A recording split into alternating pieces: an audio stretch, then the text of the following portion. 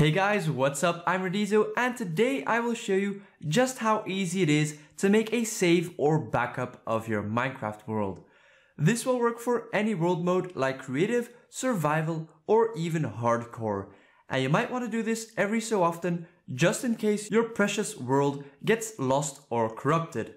All you have to do is to open your Minecraft launcher and click on play, but we'll just skip this part ahead. Alright, so you then want to find the world that you want to make a backup of, or in my case, I will just make a total new one. There we go.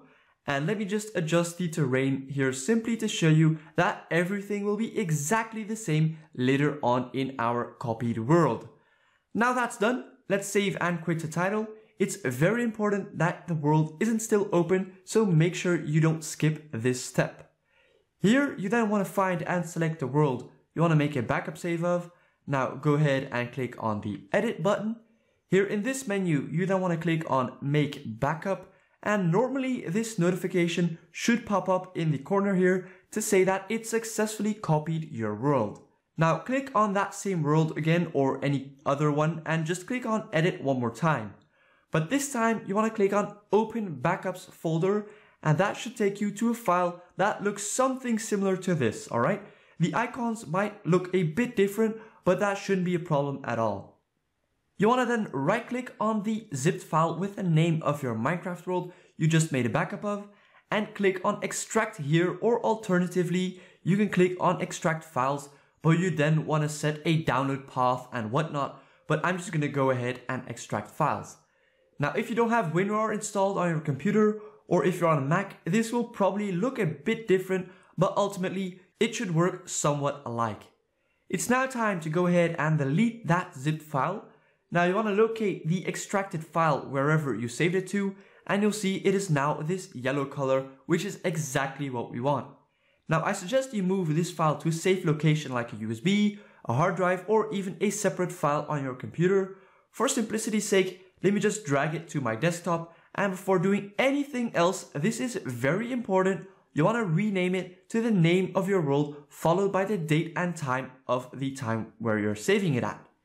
Also, this will be very useful later on if you quickly want to locate the file afterwards. Okay, so now back to our Minecraft world. Do note, however, that whatever we do or change in this world will no longer be saved to the separate file we just made a copy of. So basically, every time you make some big progress on your world, I suggest you make a whole new backup file like we just did. And if you want, you can then delete the older one, but you should probably, uh, it's better off to keep at least one separate extra file just for file redundancy. Alright, then let's say your world accidentally gets deleted or corrupted or your friend decides to pull a prank on you. There we go. The world is now no longer in this list and you can see we now don't have this world anymore. Not a problem, however, because we have an identical copy of this world. So one last time, click on edit and then on open world folder. This will open up the folder with all your world files saved in it. So as you can see, this is a list of all the worlds you will see in your Minecraft list. Alright, now go ahead and go to that folder wherever you saved the previous file to and provided you named the file like I said, finding the right one shouldn't be a problem at all. I recommend you then make a copy and paste it into this worlds folder. Don't just drag and drop it, just in case anything goes wrong, you will then still have the separate copy file. Now go ahead and close off all of the folders and we can head back to our Minecraft and click on cancel, and twice that is. And when we click on survival, the backup should appear right in this list there you go, like nothing ever happened.